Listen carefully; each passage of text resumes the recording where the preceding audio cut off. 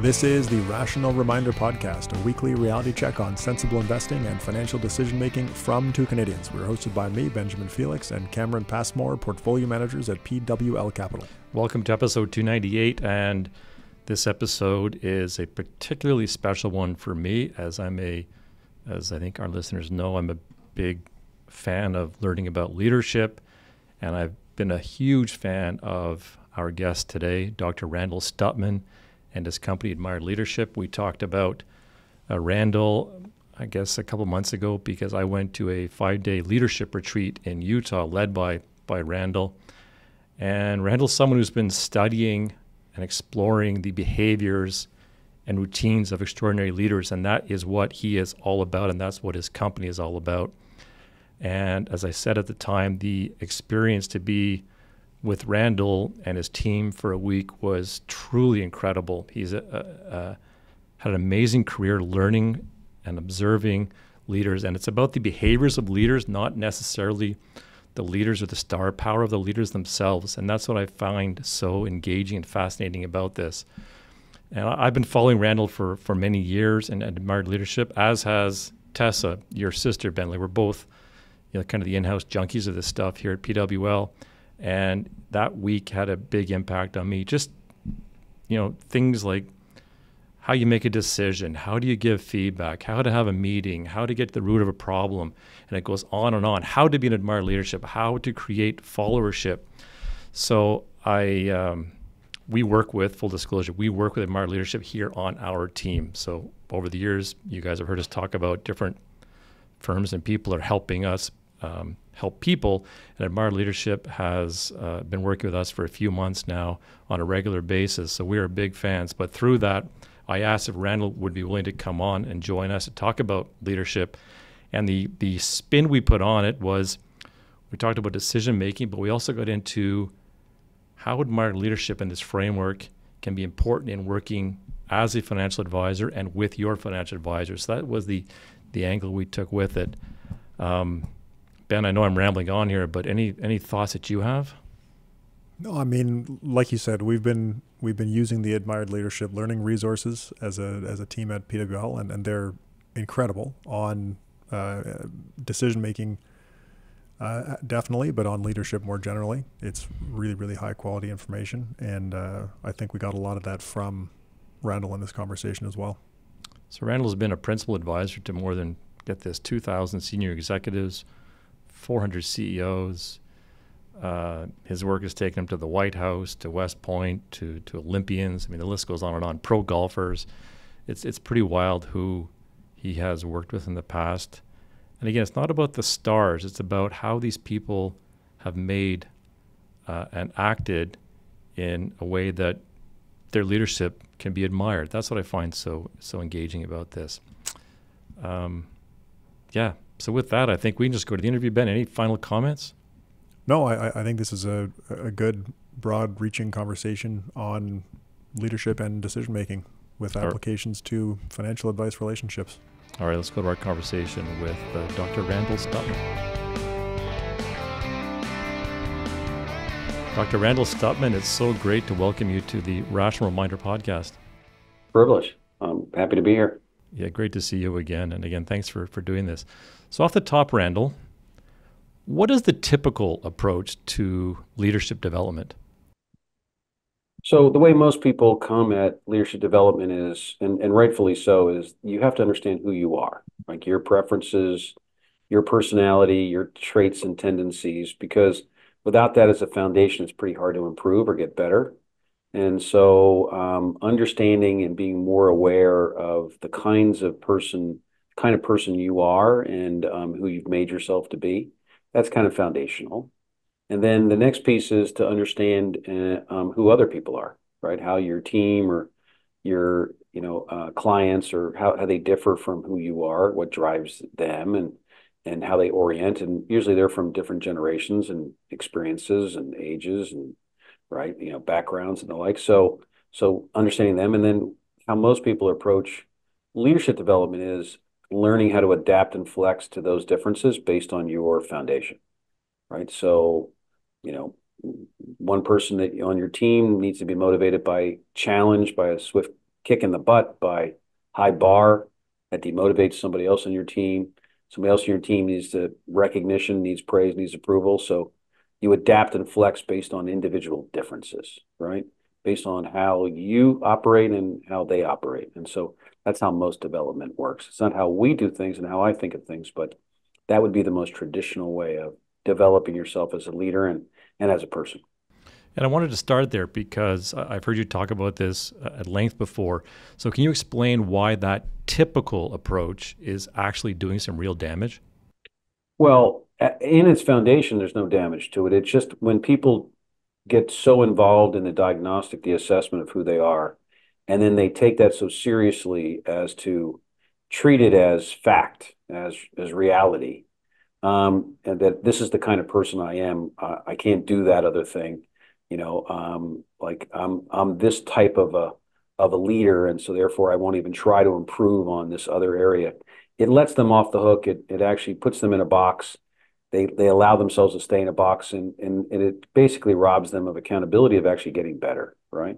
So I want to tell you a fun story for me. Um, I have a longstanding client, and and he has a London team, um, and um, one day I, I facilitated an offsite for his London team, and one of his uh, closest uh, London associates came to me and said, "I'm so glad Paul is getting coaching," which is kind of a backhanded compliment, right? Um, and I said, "Oh, really?" I said, "Have you ever ever worked with anyone?" Um, and he said, "Oh, yeah. About ten years ago, I I had a coach." And I said, "Was it a good experience?" He said, "Fabulous experience." And I said, "Tell me about it." And he said, "Well, he gave me one of those assessments." And I said, "Oh, well, what was the assessment?" He goes, "I don't remember the name of it, but I learned that I'm on the 99th percentile of excitable."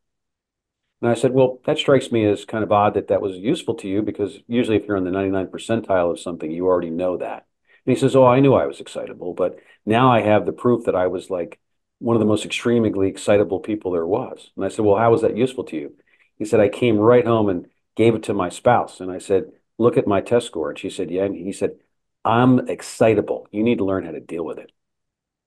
And so that's the classic example, right? Of funny for me but you know, it lets people say, "This is who I am, not who I've made myself to be. This is who I'm not willing to change because I, you know, I'm this is baked in my DNA." So if there's any harm, it's not usually that that's the that's the problem. If there is a harm or a consequence that's negative to the what I call the psychological or individual difference view, it would be that. It would be that people get locked into their assessments and then they live those assessments through the future and limit their ability to grow, right? Mm-hmm. It's not what I think is the biggest problem with that approach, but it definitely is one of the problems. What does it mean to be an admired leader? So, admired leadership and admired leaders, you know, how I came to that um, connotation was I was studying some exceptional leaders, and it was the word that everybody used for them. You know, so I admire them for this, I admire that. So I started calling these two particular leaders that I was studying admired leaders. Now realizing, by the way, that that puts a target on people's back, and and there's only one place to go from admired, and it's definitely downward, not upward. Like there's no place, there's not a higher pinnacle for a leader than being admired. Hmm. So, but but what it means to be admired is really that the people around you respect you, trust you, um, and hold you in such high regard that they're willing to follow you, they believe you, um, you know, they're they're willing to to to walk into traffic for you, um, and you're skillful enough to be able to to have that relationship with them, to create a a connection with them that's very real and authentic, but also skillful enough to gain results. So what you find is the most admired leaders are not only extraordinary results leaders, but they're extraordinary followership leaders too. That is, they can create great followership. People want to be around them. People feel differently when they're engaged by them about themselves. Um, and people follow them from place to place. And yet they have these tremendous decision making and other skills that enable them to generate great outcomes, great performance.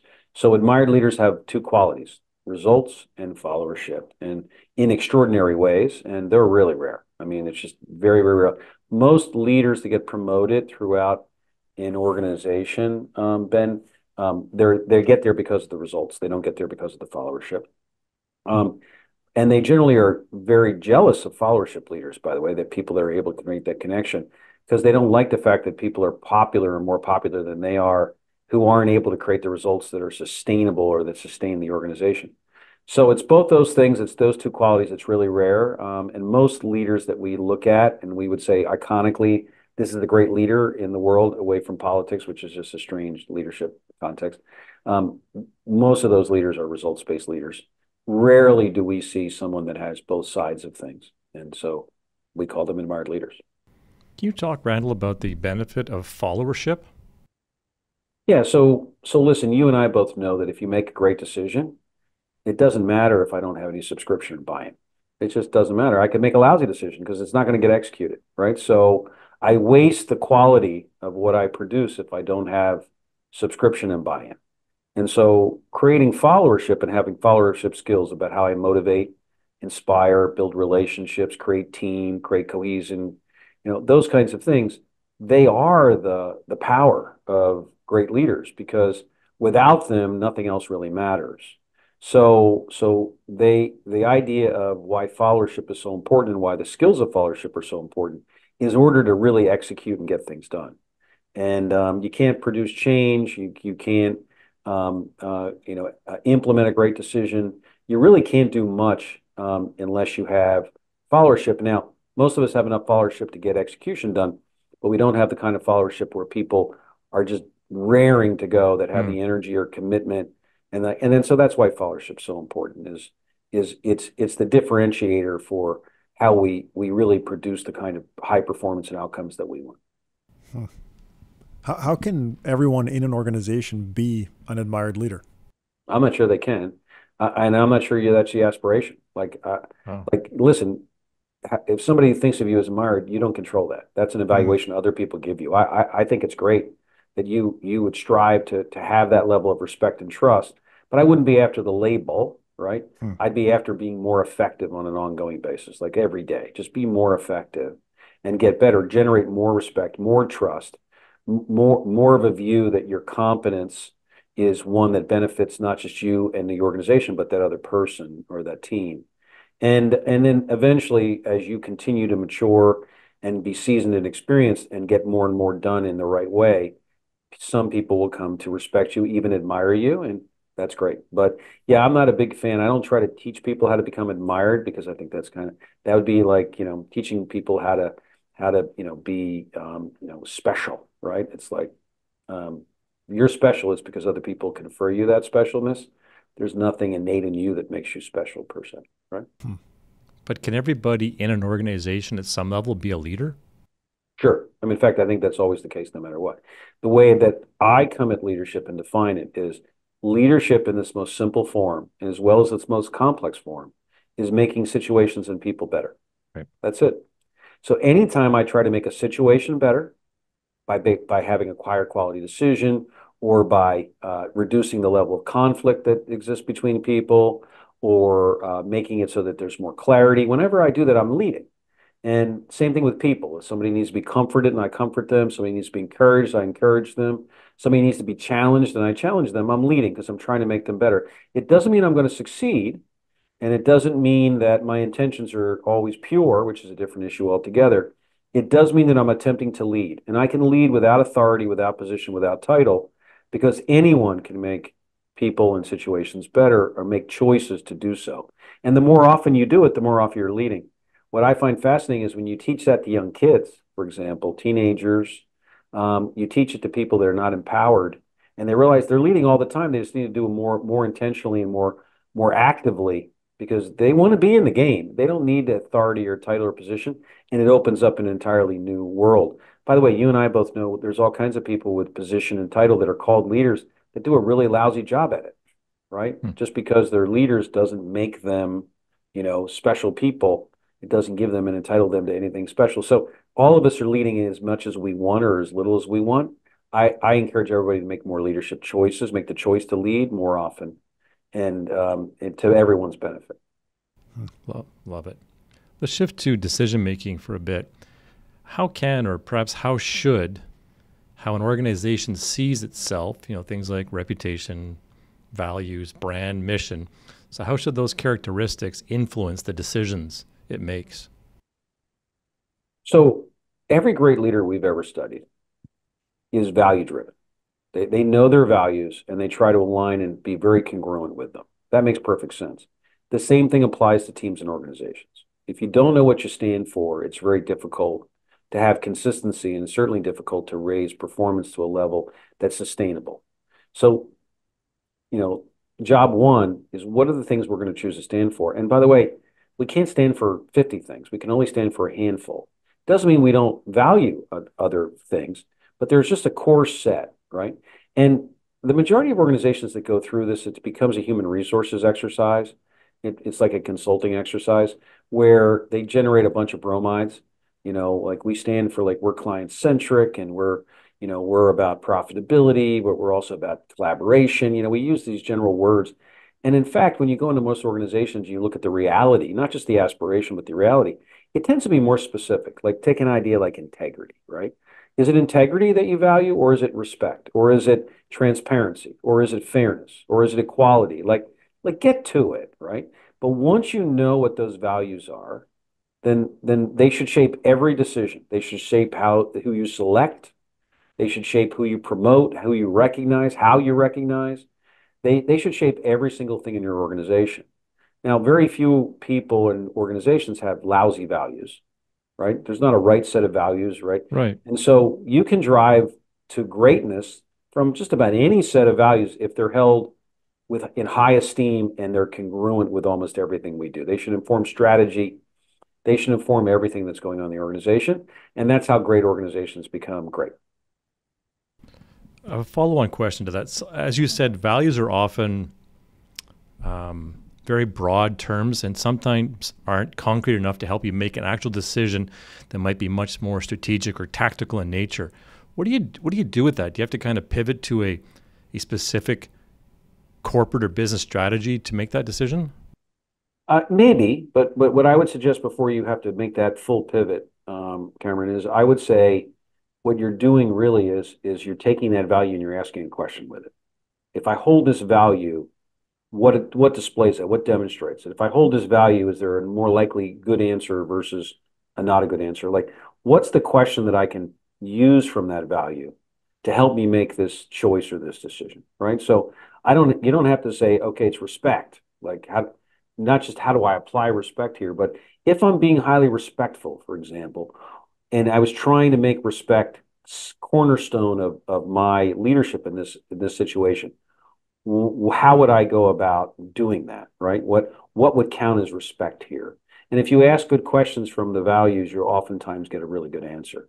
If if at that point you don't, then yeah, maybe you need some other information or some other um, uh, influence over that decision, but that would be rare in my experience, right? Um, values should be able to drive um, and influence almost every decision that gets made at every level. Hmm. Can you, can you talk about how consensus decision making can hurt an organization? So, in the last 50 years or so, almost all organizations have moved toward consensus. That is, the value of inclusion and what expect, expectations people have about being included and being heard and having an influence over the decisions that affect them has continued to rise and it's not going away, right? So, leaders, whether they like it or not, um, have had to become more inclusive and have had to create more collaborative environments. And the natural decision rule in that environment would be consensus, right? Now, consensus is not that everybody agrees. Consensus is that there's a few people that really believe strongly about something, and everyone else believes in those people or believes they can live with it, right? So there's nobody that has to stand in the way of that consensus. The problem is with consensus is in some organizations, it is a very inefficient way of reaching a decision because leaders identify too many stakeholders. They don't have a real way to get past the, the, the impasse of an individual that stands in its way. It's an art form in a lot of organizations to keep a decision on a table to eventually kill it by just by neglect. Um, and so consensus can strangle the speed and and really um, the urgency of making a decision. It can even make prevent a decision from being made if it's poorly used, and it's poorly used in lots of organizations. Like so, because we're operating by consensus, it takes us way too long to reach a conclusion. And in other cases, we never reach that conclusion because some people are uncomfortable, and we allow that to occur. So consensus is a wonderful way of making a decision. You have to have the goodwill to do it in an organization that is people that believe in each other and trust each other's and defer each other's judgments and subject matter expertise. But even when you have it, if it's not um, engaged correctly, it can be it can strangle an organization's ability to decide, right? Mm. And so, so that's pretty common common pro, um, phenomenon. Um, you know, people that are listening to this some of them are going to go, oh, that's interesting. But some of them who live this on an ongoing basis go, that's exactly what happens in my organization, right? That we never reach the decisions because we're always trying to reach consensus first, and we never reach perfect consensus. So things just don't get decided. And what a shame because we're missing opportunities. We're losing losing all kinds of initiative, right? And like, and it happens in more organizations than you would think. Hmm. The key there, though, Randall, is the, the drive for perfect consensus. Your definition of consensus, I would say, is not commonly understood. Uh, yeah, but even if you so even if you believe, and, and by the way, mine mine is not mine; it's the academic, you know, the decision making way of thinking about a decision rule called consensus. So it doesn't come from me, um, but that idea that consensus is champions with everyone else who can agree. That's what consensus is, right? Um, but even if you operate, um, Cameron, from the rule that consensus everyone agrees, that just makes it even harder, right? Not, not you know, it makes it more difficult to ever reach a conclusion. Imagine getting 30, 40, 50 people all who agree 100% with not only the decision, but all the tactics below it.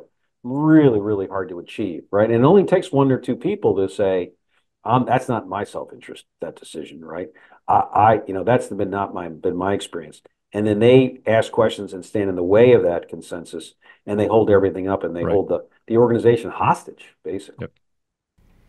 Okay, so if we take take consensus out, and say that's that's maybe no good. It, oh no, consensus speaking. is great. You just got to do it differently. Sure. Okay. Yeah.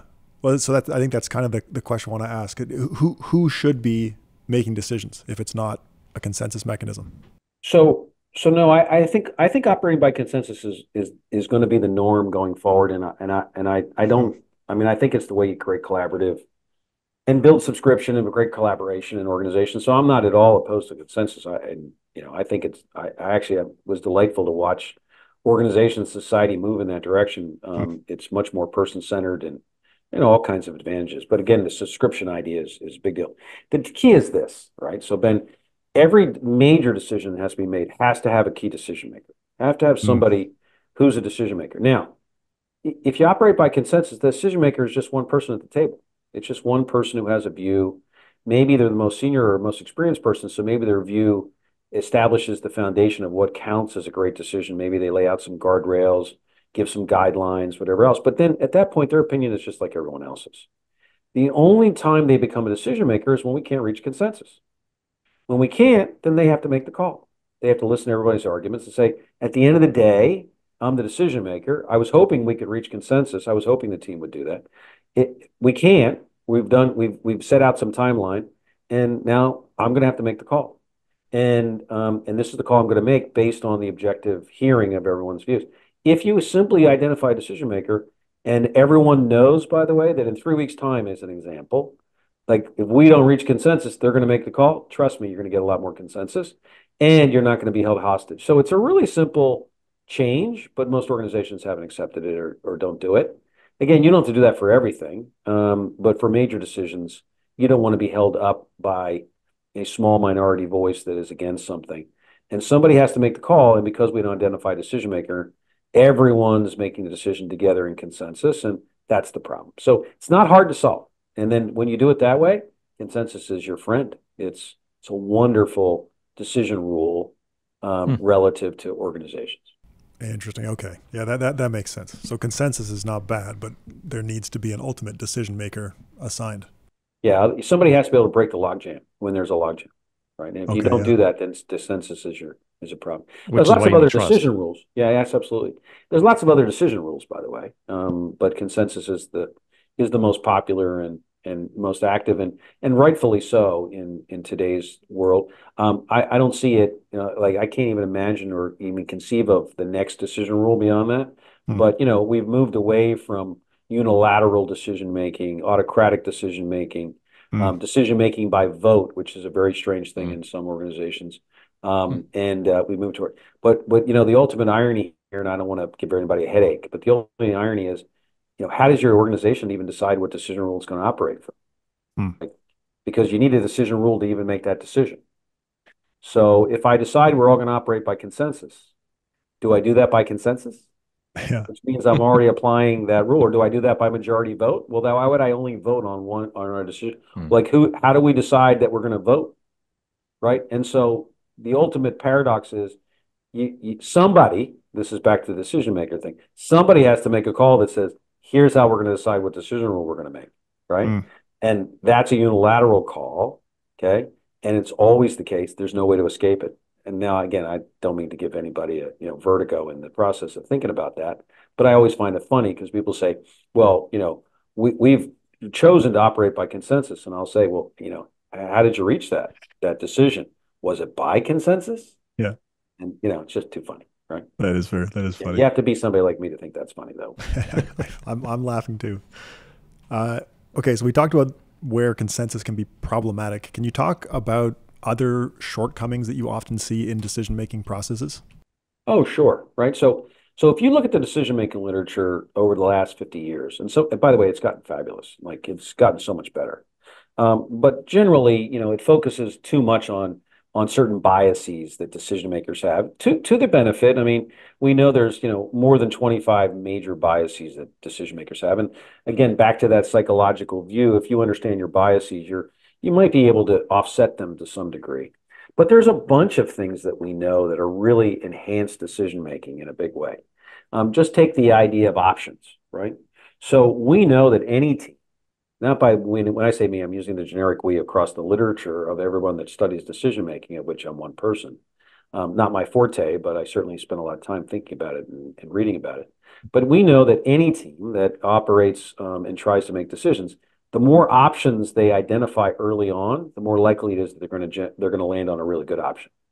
So too many, too often, um, what happens in teams is we have two or three options. We don't get creative beyond that. We think we're constrained by those options. By the way, they may be very good options, but they may not be. And we've limited our ability to think creatively and to, and to look for other win-wins and all kinds of other things. The better thing to do early on, of course, is is to identify the problem and then think about all the possible options that we have to approach that problem or opportunity for that matter. And then once we have that list, then to, to evaluate those options. And what you're going to find is just simple, more simply more options produces better quality decisions, right? You know, how simple is that, right? But but if you ask me what gets in the way of decision making, the biggest problem is too many times we actually solve the wrong problem. So we're making a decision about something that's not the problem. And that is because we haven't spent the time to identify the root cause of the issue or the problem or the opportunity. And so as a result, um, because we haven't spent that time, we haven't admired the problem long enough, we haven't identified the root causes or or issues underlying it. We therefore presume what the problem is and we solve it, but it's the wrong problem. Right. And so therefore we realize we still have the same problem we had before, even though it was an elegant solution, we put it in place it had the, the consequences, implications, symptoms of that problem haven't gone away. And that's because we solved the wrong one, right? And that happens a lot. Hmm. Yeah, that's that's so important. We, we we did an episode a while ago with Ralph Keeney, who studies decision making, and he talked a ton about uh, the points you just made. Okay, I'll have to look at that one. Um, he's he's he's he's really smart, so I'm sure I can learn something from listening to your podcast on that. I missed that one. Sorry about that. Uh, Randall, are there some decisions that should be made quicker and some that should be made slower, especially given the number of options you're bringing to the table? Sure, sure. So you can divide decision making into two different buckets decisions that can be reversed and decisions that can't. Right. By reversed, I mean easily reversed, you know, pretty simple. And other ones that you can't reverse them, they're not very easily to revoke them once you put them in place. Right. right. You know, one, once we make the decision to buy the house and we actually put the money down, it's hard to revoke. Right. So, so, and once we decide on a new strategy and, you know, we, and we, we bake that into what we're going to do tactically in our plans and operating budgets and like, it's really hard to revoke it, right? So you're going to treat decisions that can't be revoked or not reversed very easily, very different than, than decisions that can, right? So, so naturally you're going to spend more time with more analysis, with more energy, with more, with just more uh, um, engagement around um, decisions, and not just because they're important. Some some decisions can't be revoked that aren't that essential, but they still can't be revoked. So you're going to spend more time on those kinds of decisions than than the decisions that can be reversed. and you're going to take you're going to treat their decision process um, a little bit more seriously. You're going to engage it more, you know, with with a lot more vigor. That's just natural, right? I think, but you can, but it's not so natural that we automatically do that all the time. So I always advise people to bust up decisions in terms of those. Can just ask the question: Can I? Can you reverse this decision? Can you revoke it? Would it be not that hard to change course? And if you can change course, then you know make your decision, but don't fret about it, right? I mean, you know, go through your process and and then figure it out and land on something. And better you act more quickly on those kinds of decisions, right? Why? Because there's not that big a consequence. I don't mean the consequences aren't real, but we can reverse them if we need right. to, versus the other kinds of decisions where we can. Again, you guys are treating me like I'm the decision making expert of the world. I'm not. Okay. I just happen to study leaders. So I don't know why we're on this decision stuff, but nonetheless, keep going if that's where you well, want to go. No, we're gonna we're gonna shift right now, Randall. I want to get into some of your thoughts around our world in the in the business of financial advisory services. Okay. So, which I'm a client, so keep going. Excellent. Uh, how, how do you think a, a financial advisor could or should act like an admired leader? Well, if you think about leadership and making situations and people better, they are leading their clients. And if they're not leading their clients, something's seriously wrong, right? So they should be thinking about who I am, what I am, um, but also, you know, what is it that is my particular situation, and how do they make it better, and and how do they make me a better partner in the process, and you know, what are, based on what I need and what I think I want, and so forth and so on, right? So, so getting people heard, understanding their risk appetites, all all the normal stuff that everybody on your you know your listeners know, but but using that work in order to intentionally right um, um, help you know improve and grow not just the assets, but the person themselves, the relationship also. That's a pretty important part of all of this because at the end of the day, this is all about relationships. Um, you can, you know, you and I both know you can do great work and not, not maintain a relationship, and and what a waste of time and energy. So most of your advisors are more in the relationship business than they think, and and and they're a lot less in the financial um, advice business than they think, right? And um, and I know that's that would be controversial, but I'd argue that one comes before the other, right? If you're not any good at building relationships, you're not going to grow an incredible practice. Um, at the same time, you're not going to grow that incredible practice unless you offer some pretty sound advice too. Yeah. So, so one's more is is requisite, but it's not sufficient. If that makes sense. Hmm. Are are there any admired leadership behaviors that you think might be unique to financial advisors? No, I mean, relationships are relationships are relationships, and just like leadership is. Um, and the best, you know, behaviors are universal; they apply in all cases. That doesn't mean that there aren't some things that um, that you would do specifically as an advisor. You would do it other places, but you might emphasize it more as an advisor, you know, kinds of things. It just depends, and it depends on who you're dealing with. Let me let me tell you, like I'm in the business of, you know, promoting you know what I do, right? And you know, I run a large organization of coaches, right? And and um and and and I've learned this a long time ago. So I deal with a lot of very high level, high profile people, CEO types, and everything else. And so, you know, it might surprise you, but when I go into organ- conversation with those people, um, which probably are not dissimilar in terms of the client set, you know, set of your of your listeners, um, one of the first things I do when I get in those environments is I try to find a place to disagree.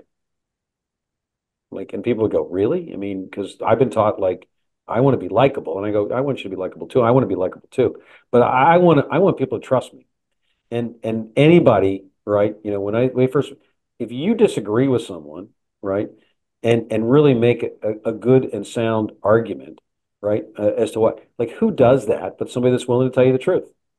And and by the way, that tends to be my brand. I tend to be very candid, and and and you know, I don't smash people on the head with truth. I want I don't want to be offensive or unpalatable with the truth, but I, I always want to be more candid because that's my real role as a, as an advisor coach, mm-hmm. right? So I go in there looking now. Sometimes I can't find it, right? But boy, if I can disagree early in a conversation with a with a prospective client, I go right for the disagreement because I want to prove to them that they can trust that I'm going to tell them what I really think. Now that doesn't work every time, but it works more in my advantage. At least I've convinced myself it does it works more in my advantage than than the downside, right? And I build really trusting relationships with people because of my candidness. Now, that's me and that's how I approach it. But it wouldn't be surprising to me that a lot of your advisors should be disagreeing with their with their potential prospective clients more than they actually think. Now, some some people are smiling when they listen to this because they go, "I disagree all the time. I'm dealing with people that don't know what they're talking about." Right? um, and and yeah, that's that's the simple way of disagreement.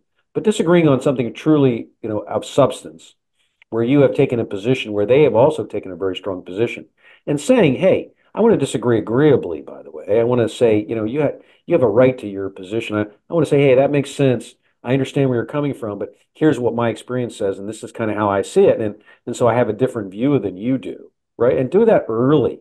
Now, that's just one example. I'm not mm, arguing that that's the tactic or strategy of everything, but I can think of lots of things that advisors might be doing relationally that might be a little bit different than we do in most relationships.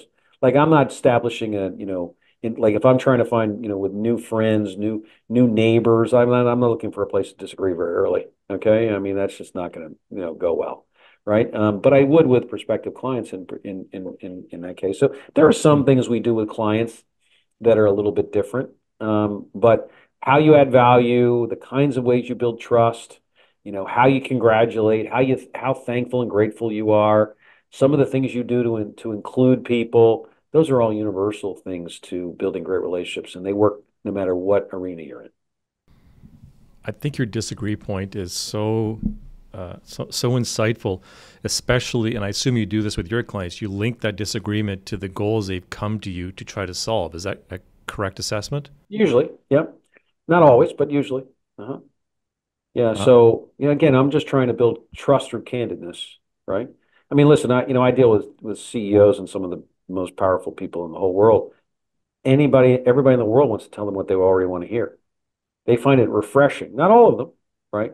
If somebody's willing to disagree and take out and stake out some ground, even if they don't agree with it, they go, okay, here's somebody that I can trust, right? That's going to tell me the truth. Now I have to assess whether you actually know what you're talking about, which is a separate issue altogether, right? But again, relationship before content, right?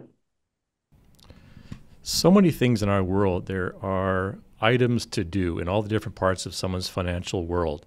This becomes this massive checklist of stuff that has to get done. So to link this back to your earlier comments around it's important to be um, to have great followership to inspire people to get that list done. Do you have any thoughts around you know having a list to help people and to motivate people to get through that list of to-do items? Yeah, I mean, you know, checklists are really valuable because they help people organize, rem- remind things, remember things. I mean, I think checklists are great. Um, they also help create consistency and the like. I think the, the key is, though, not to create them and treat them as so much of a task that they become the focus of your conversation or relationship. That's all.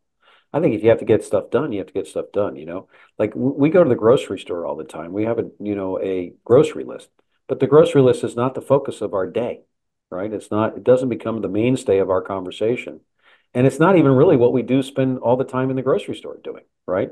Yeah, we're we're checking off our list, but we're also looking at all kinds of things and you know thinking about where we're going to cook and you know lots of other things, right? So you just can't let the the, the checklist dominate, right, and become the over overarching focus of of the conversation of the relationship. But the checklist is really important. I don't want to go to the grocery store and go without the checklist. I forget all kinds of stuff. I have to go back four times. What a waste of time right? So so I want a good checklist and I want to be able to work through it. Just don't let it take take things over. Don't let it don't don't let the checklist drive you. Hmm. Right is probably another way of saying. Hmm. Sticking with the theme of financial advice relationships, what, what traits of an admired leader do you think a financial consumer should bring to their relationship with a financial advisor? Well, I think they should want a real mutual, mutually influential relationship. I don't think it should be one sided. Um, li- listen, you know, I should back up and I should say, not every client should, in perspective, you know, client should be your client. Like, mm. there's all kinds of different clients in the world. If you're somebody that you know doesn't value relationships, then go find other people that don't value relationships. You'll have a great time, right? Um, but I want somebody, you know, I would want somebody if I was on the other side to a i would want to be heard and that means you know i want to listen to you but i want you to listen to me. I want to build a relationship with you you know i want i want you to build a relationship with me. Um, if i'm a client on the other side i i want you to explain the things that i want to know but i don't want you to over explain the things i don't right? I mean too many people like you know we don't we don't go to to the you know the, we don't drop our car off to the service people and go can you explain to me exactly what you did and, and mechanically like how that all worked right? And it's because no, no, that's what I'm paying you to do, right? I'm paying. Now tell me, you know, by the way, the bill's bigger than I thought it was going to be, so you must have done some really great work. But But but at the end of the day, I don't want all your theory. I don't I don't need to know. So are you good at judging what I should want to know and what I need to know and what I what I would value? Or are you just dumping on me all this stuff to making me impressed by how much you know? Because I don't need your theory. If I have all your theory, by the way, I can do what you do. And why, by the way, there's way too many people that think they can do what your advisors mm. do. And that's part of the problem, right? And so I want you to find the right clients, the clients that resonate with you or that are consistent with your values. But when you say to me, so what should those those clients do? Um, it's a hard one because it depends on what what I mean. They're going to be different kinds of clients, and they're going to have different needs. the The real question is: Are you are you finding the clients that sh- that should be looking for you too? Right? Because there's a match in heaven there for everyone, and and there's going to be enough clients, by the way. But if you take on everybody, you're going to waste a lot of time and be a very frustrated person because there's going to be people that that you know do things, ask you things that you go, why why no, why am I doing this? Right? This is not normal, and the reason is you found the wrong person, right? And they found you, and they and by the way, you're the wrong person for them too, right? So so you, you need to you need to find the clients that that want to find you, and then satisfy them in the way that they want to be satisfied. I have a question for you on goal setting. Do you have any thoughts around the best way for a couple to come to agreed upon financial goals? Wow. Um, they need a target, right? You know, you don't start from like the, I think if there's any advice I would give is if you start, the more you start from a blank piece of paper, the harder it is to reach, reach agreement. So it's easier for people to, to riff off of and respond or react to a position, a proposal, a target. And so give people a target as to what goals we think might be reasonable and start from there. And once you have that target, then you'll know, once you have that proposal and there's disagreement, now, now the key is to find underlyingly what's the what's the underlying reason for that disagreement, and then we can start working walking it through. listen, here's what I've learned. Right, a lot of disagreement has nothing to do with the content; it has to do with the relationship. Hmm. And so, when the relationship is is not ideal or problematic, it gets expressed through that that goal setting process. So people fight over goals not because they don't agree with the goals, they they have a problem in the relationship and they're expressing their disagreement uh, over the goals. They're they're using that as the forum by which to say, you know, our relationship is not where I want it to be. Trust me, when your spouse says to you, you know, you don't put the, the top of the toothpaste back on the toothpaste tube, it has nothing to do with the toothpaste tube or the top. It has to do with do you hear me? Do you respect me? Am I a partner in the in you know, or do you understand all the work I do around here? It's a relationship issue. It's not about the toothpaste. Okay. But they'll use the toothpaste in order to bring it up. That happens in goal setting a lot too. What do you think is the best way to deliver feedback in an advisory relationship? Oh my gosh, you got a couple about five, six hours for me. I knew it. uh, yeah, I mean, there's so many important things to giving feedback. But but listen, all right. So so let me give you a, a broad. This will be a little bit abstract, but it'll be worth it by the end. I hope. Right? Go for so, it. So when you think about giving feedback, right? The very reason we call it the word feedback is because it comes from a place of power, experience, expertise, right? So let me give you some feedback, right? Let me give you an idea that, you know, is important for you. And criticism falls in the same bucket. Now, I know very few people that prefer or like criticism or feedback. Like if I came to you and say, "Hey, Ben, I have some feedback for you," I don't know you. Wow, I can't wait to get it. Right? Very few people are like that. Okay. Now, imagine the feedback message I was sending you is that you need to be more diligent of understanding where the marketplace is in any given moment. I'm just making that up. Okay. Now, I can I give you a little feedback that you're not as diligent as you should be, and you need to have more discipline in understanding the macro environment. Okay. Now, that produces resistance because it comes from a place of power. It says, I have the experience, I have the expertise, I'm the one with the knowledge, right? And that's why I'm giving you this feedback. By the way, I'm your advisor, and so I have the power. Okay. Now, that same message, I can reduce power by offering some advice. Advice is the same message, by the way, but it reduces power. So I can say, Can I give you some advice? And you say, Sure, what's your advice? Now, advice I can accept or reject, right? And it comes from your experience, but it doesn't come from your authority. And so, same message. Can, my advice is that you have a more macro oriented view and take more discipline to understand what's going on in the marketplace. All right, great. Now I can reduce power again by calling it a suggestion or recommendation. Like, can I make a suggestion? Sure. What's your suggestion? My suggestion is that we learn, that you learn, and, and I help you learn how it is that you can have a more macro view and so forth and so on, right? Now, same message, except I simply reduce power. Anytime power is high, people resist it. As power gets lower, people resist it less. All the advisors should not be in the feedback business. They should not be in the criticism business. They shouldn't even be in the advice business. They should be in the recommendation and suggestion business. Hmm. And if they start thinking like that and acting like that and describing things like that, they're going to find that people have a higher degree of receptivity. Now, that is so basic in the way I think about things. It it doesn't even bother me to give it to your whole audience, right? And so so I'm happy to talk about that. Now, we know so many cool things about feedback and how how the best instructors and teachers and leaders and coaches give feedback that you know I really could spend a tremendous amount of time and tell you a lot of the magic that we've learned over time. But just starting there is so important. Just reduce your power and and start describing things more in recommendation and suggestion, and you'll find that people respond very differently to you. So interesting. So we are all in a similar business. We provide advice to people. Do you have a th- thoughts or experience around how often you should connect with the person you're helping to build out an effective relationship? Yeah, great. Yeah. So there's no exact right answer, you know, Cameron. I mean, you know, your instinct is probably more than less, right? And so people that aren't able to sustain relationships generally don't have enough cadence and frequency of contact, right? And so the question though is through what mediums and how and by through what by what value am I going to connect with you?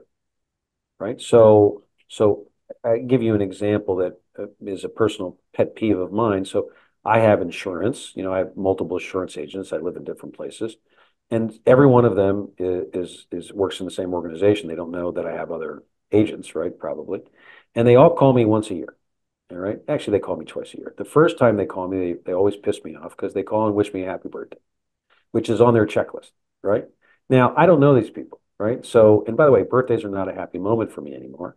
Okay. So the idea that somebody I don't know calls me and wishes me a happy birthday is enough to put cream cheese right in my shoes. Like I just want to do anything to get away from them. Right.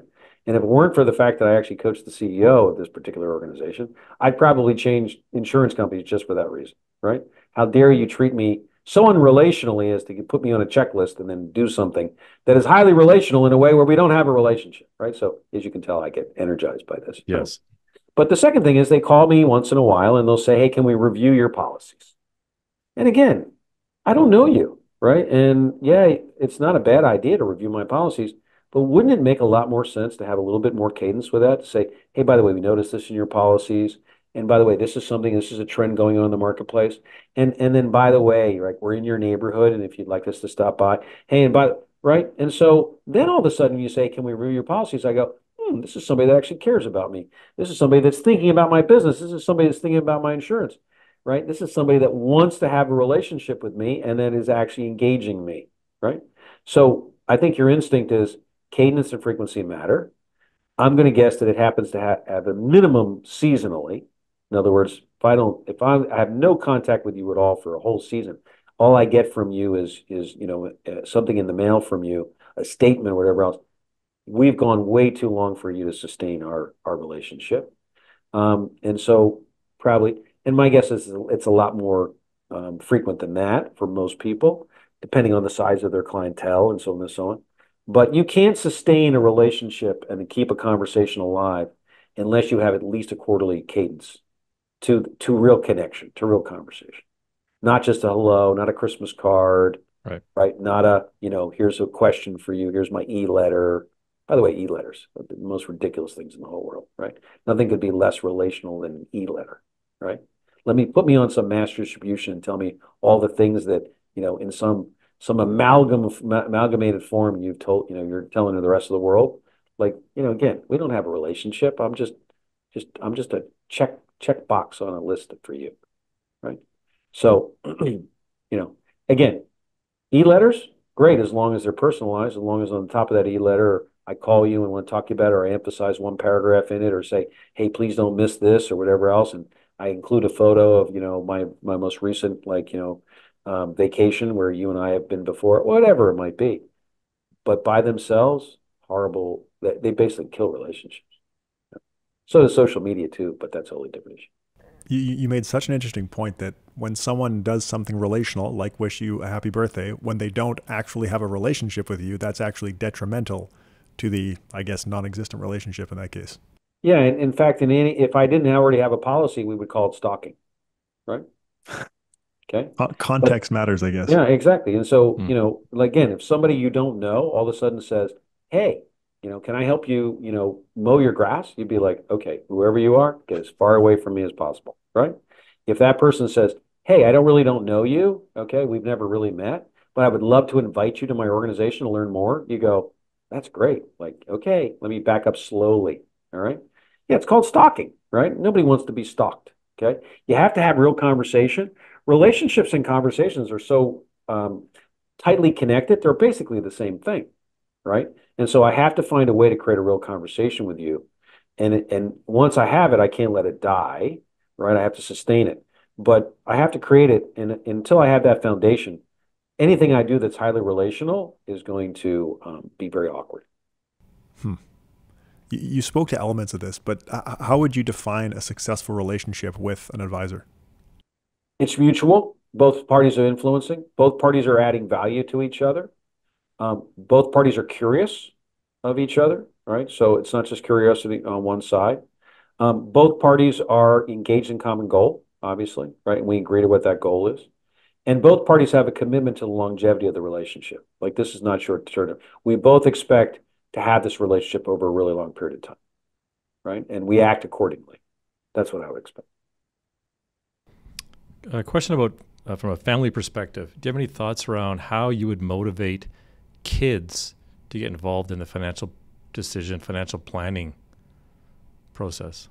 Well, first you have to ask them good questions, right? I mean, you know, that's that's where it would start, I would guess. Again, it's not my business, but if I was trying to get kids involved, I, I would want to elevate their status in in our conversation and I'd want to ask them a bunch of questions and what they know without having answers like there are no gotchas, right? Like, oh, let me ask you a question. Oh, gotcha, right? Like you don't know something that I was hoping you knew or that you should know, right? I just want to I want to ask lots of questions and and get very curious about how they think of wealth and how they think of money and what they think in terms of, you know, their own careers and things of that nature and and when you get curious, you know, and you invest in that curiosity with other people, and you ask lots of quality questions, you're going to find you're going to get a lot of a lot of it's going to get reciprocated. Not all of it, right? Because you know you don't control a lot of the other contexts of where these kids have come from and what they've learned and what they're expecting and the like. But you know, reciprocity one of the strongest things between human beings, and curiosity, energy, interest, inquisitiveness, they're all highly reciprocated between people, and kids are no exception. Hmm you work with a lot of successful people and powerful people, as you mentioned. How do you avoid outcome bias affecting the decisions of people who have been successful in the past? Tell me what you mean by that. What's the outcome bias that you're referring to? Outcome bias, like in, in the in the admired leadership module on decision making, it talks about separating outcome from. Oh, okay. Uh, yeah. Gotcha. Okay. All right. So, so outcome bias so so separating between outcome and process right? Um, you and i both know that we can have some great outcomes with having lousy process and vice versa. Like we can have great process and have lousy outcome. We don't control the outcomes. We always control the process. And so so how you avoid some of the biases you control for what you can control for. And you don't talk yourself in to believing that in fact your experience prowess and everything else is entirely in control. I don't mean you don't have any influence on the outcome, but that, you know, the, the hardest part about dealing with successful people is they've been successful. Hmm. and so they believe in their own nonsense. They believe these things that have that are just spurious, that have no real correlation to their success. They believe those are the driving forces of their success. And they double down on them, which is even weird, right? And so they continue to do things, you know, I, like I can't tell you how many leaders who who are successful despite what I would consider to be an abrasive, um, mercurial um, style as leaders. And they've actually convinced themselves it's because of they're so harsh and stern that that's what's created their success. And so they double down and they get even as they get more experienced and older and more more successful, they get even harsher. They get that even they get even more coer- coercive, right? And it's so fascinating, okay? And so that you know they they learn the wrong lesson um, from from what I consider to be the wrong um, you know uh, outcome. So so that's the thing you do is you avoid you avoid being overly committed and, and attributing too much of your own influence to outcome. And you entirely control the thing you can control which is process. Hmm. i'm not sure if that answers your question but that would do it's a great answer. Yep it does so we kind of have a, a catch-all of rapid fire questions for you randall if uh, oh, the, wow this is kind of like speed dating except speed questioning yeah but if you have longer answers we welcome them but there's just a bunch of topics i've been these are yes no questions, or are these a little longer than that? A little longer, but okay. It's up to I'll you. try to be as succinct as I can. Do you have any general time management strategies that you'd recommend for busy leaders? That's your speed question. That's yep. the one you want me to do fast. Okay. Um. Wow. Okay. So time time management pieces. Um. If if I was trying to to improve someone's time orientation, the most important thing in, in there is is you got to start on the hardest things first every day. You can't start on the easy things first. You got to start on the hardest things first. And it just takes a lot of discipline, but it's going to make you so much more productive. And by the way, you're giving yourself a reward because the easy things are going to come later. So you're looking forward to those things. Hmm. And so you really just have to tackle the hard things. And you have to know what those hard things are as you look at your priorities and look at your tasks and everything else.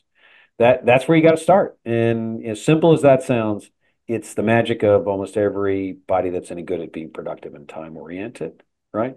The second thing I would say to you is it's really, you know, t- about being time congruent with your values. Tell me how you spend your time. I'll tell you what your real values are. Hmm. So you got to look at your time field all the time and say, if I look at this field of time that is all in my appointments and all my commitments, like, is it truly representing my values? What I say matters to me. Okay. And if it does, then kudos to you. And if it doesn't, you need to make some changes. Hmm. Great answer to that question. Uh, th- this one's probably also not going to have a, a, a short answer. What, what, what do you think makes an effective meeting? An effective meeting, we know exactly what the outcome we're looking for. We've mm-hmm. already agreed as to what the goal of this meeting is. We know we're making a decision. We know we're about discussing things to generate an idea. You know, we, we know what we know what the goal or the outcome we're looking for is, and we're going to basically make sure that before we conclude this meeting, it's absolutely perfectly clear what our next steps are that and there's a lot of other things that make for great meetings but you know if you did those two things alone that would be a big big plus it's a great answer what are some of the biggest impacts in a post-covid world of fewer face-to-face meetings and more of these virtual type relationships so what we know is a couple of things and they're surprising number one is people really are more productive when they set their own boundaries people get more done with with with higher quality when they're in control of their time, when they work and where they work. No question. The problem is that two things become missing. One is the relationship and cohesion between colleagues and between leaders and the people that they lead gets frayed or fragmented so that people are out of mind. They don't get thought of for assignments. They don't get thought of for promotions. They don't get thought of, period. And then, second, it's impossible virtually, remotely to get as much feedback because most of the feedback we get are through nonverbals of eyebrows and facial expressions and things of that nature. And so we don't get enough of it. In fact, don't forget when we get on these Teams, Zooms, calls, Google Meet calls, we stare at our own image more than we stare at anything else, right? So we're not even seeing the other person very much. So in the process of that, those are the two things we have to make up for. And we have to figure out a way to make up for them, right? And um, there's lots of alternatives, but you asked me for speed, you know, kind of stuff. But um, uh, you know that's the consequence. So so I want people to have flexibility, but I also need to create more relational cohesion, and um, and I need a lot more feedback that that than what that that medium allows us to have. Hmm. You mentioned people being more productive when they set their own boundaries. Are most people self motivated? That's a really good question. It's not one that I have a great answer to because I live in a world where of self-motivated people. So I, you know, I'm mm-hmm. probably the police officer that only sees crime, and then I think everybody's a criminal. Um, yeah, in my world, most people are very self-motivated, but probably not true, but I don't have a good good lens on that one. What I can tell you is you have to have at least a modicum of self motivation, otherwise you don't get anything done. That that creates the discipline to even get out of bed in the morning. Um, and there are some people that lack that for sure. Um, but but but what I might say is this: there's a difference between A players, B players, and C players. And A players are highly self motivated and only need a goal. That's what makes them A players. They just need a direction. They just need to know what you're after, and they will figure it out. Hmm. And they are highly motivated to figure it out for whatever reason. Okay. Um, intrinsic motivations, extrinsic ones, you know, rewards, whatever it might be. Um, we know that the best players are self motivated. So I don't think there's anybody that's too self motivated, is what I'm getting at. And so anything you can do as a leader to foster, promote, encourage self motivation, um, I think is is part of your job. So you, you acknowledged or, or mentioned that you have some serious selection bias in the people that, that you deal with. What do you think motivates that sample, the, the ultra motivated people? Hmm. Uh, that's a that's another great question. I mean, what motivates them? And I, and I think my answer is going to be a little different than you expect, right? So yeah, there are some people that are very much coin operated that are motivated by compensation and other kinds of rewards, right? No question. And there are some people that are very much motivated by the self satisfaction they receive by lots of positive feedback and encouragement and so on and so on. But I'm going to tell you that the people that I deal with the most and that, that makes the most impressive is they have a tremendous desire to improve, to be better. Mm. And their learning orientation is what makes them so different. And they're motivated to learn, not so much to reach outcomes. They, their, their notion is if I'm not getting better, if I'm not learning, and if I'm not engaging and recognizing more things about what's happening both to me and everybody else, then then I'm then I would lose the desire to do what I'm doing. And so they are learning machines and they're self-motivated to learn more than they are toward outcomes and other kinds of in, mm-hmm. intrinsic even or or other or other kinds of rewards. I, I really like that answer, partially because I got some confirmation bias. What one of my benchmarks. I, I, don't know if I, have ever thought about it as something that motivates me, but I, I, I always want to be able to look back to a previous point in time and be embarrassed about how little I knew about something that I now know about. Right. Yeah, it's a great one. You know, not knowing what you don't know is pretty pretty big deal. Second to last question, Randall. Uh, can you talk about what you see happening in the next 12 months for your company, Admired Leadership? Well, we're excited about Admired Leadership. As you know, we write field notes every day, um, and they go out to tens of thousands of people, and that's great. And and those are those are free to anybody at admiredleadership.com field notes right um, and we love our platform and our coaches we continue to hire more coaches and train them up and we're having more success with our behavioral view every time we are probably the largest coaching firm of full-time employees in the us we don't know but we suspect what we are um, but the thing that i'm most excited about is we have a digital coach that's about to come out oh wow and that digital coach is informed only by our data that is by our field notes and our transcripts to to our webinars and our conferences and those kinds of things and our white papers and things that have been happening inside our place for years. We think our answers and and our content is better than everybody else, just like like you know, I hope we do, but we really think it's different. And so this digital coach, which has a snarky attitude, by the way, which I think is really fascinating. Um, we call him Alex, and it might be her, right? It's a gender neutral name, Alex. And Alex, when you ask Alex a question, Alex uses our data to give an answer. And and here's the other cool thing about Alex is when you ask Alex a question that doesn't have an answer that's any good, that our data is not good, it'll I'll get the question and then I'll I'll I'll create the answer and then it'll go in our mm. database. So it's going to get better and better over time. I think it's going to replace a lot of simple. It's going to be a great tool. Mm. Our own coaches can't wait to get their hands on it, um, and it'll be part of you know our platform and things like that. So I'm excited about an AI digital coach that'll get more better and better. Initially, it'll just be text and you'll be able to select from six voices, but it'll eventually over time have an avatar and you'll be able to interact with it as AI develops. Like we're we're as going to be as cutting edge as we can initially. But again, if you use any other AI device, it's going to pull from the entire world of the internet, which is why it gives you such mediocre advice. The advice is all solid, by the way. It's just not it's just not interesting, right? And it gives you too much of it. So you know, our stuff, our digital coach Alex is, you know, exciting. He's gonna he she gonna come out here shortly, and and um I'm anxious for it, and and hopefully it's a big splash. That is very cool. I'm a big fan of your field notes, and I believe you write most of them, right? Most of them. Excellent. They come out every morning. They're fantastic. Our final final question for you, Randall. How do you define success in your life? Well, I have I'm I'm a lot of influenced by people that I've asked that same question to, and I've changed my view of what counts as success drastically throughout the course of my life. And the thing that has has created my success, you know, or my definition of success most frequently, or or excuse me, most recently, um, and by that I mean the last 10, 15 years, goes like this, right? If you ask the majority of very established, very, very successful leaders, what defines success? They will unequivocally tell you it is how many people they matter to. So how many people, not that they used to influence, not that they once had impact on, but how many people do they matter to right now? And so that to me sounds just it just resonates with me and it just makes too much sense. And so I've started to gear the way I think of my own success and the way that I think about how I want to be successful in the future about how many people can I really matter to. Now, I don't mean matter just in terms of influence. I want to have a relationship with people.